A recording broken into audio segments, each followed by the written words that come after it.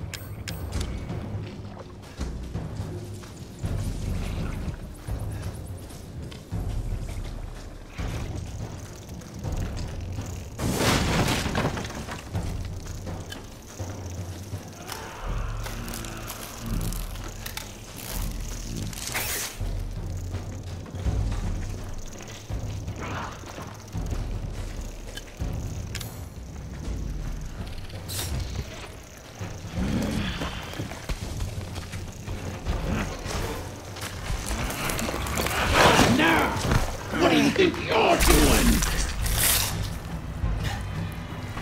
Still got some fight in you, huh?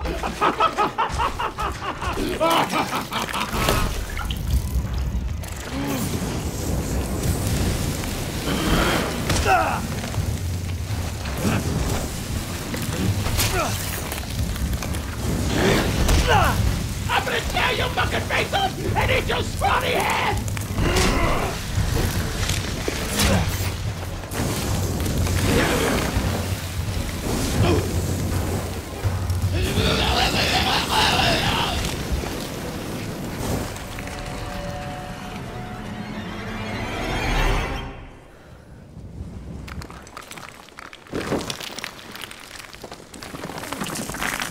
Fucking stay dead, okay?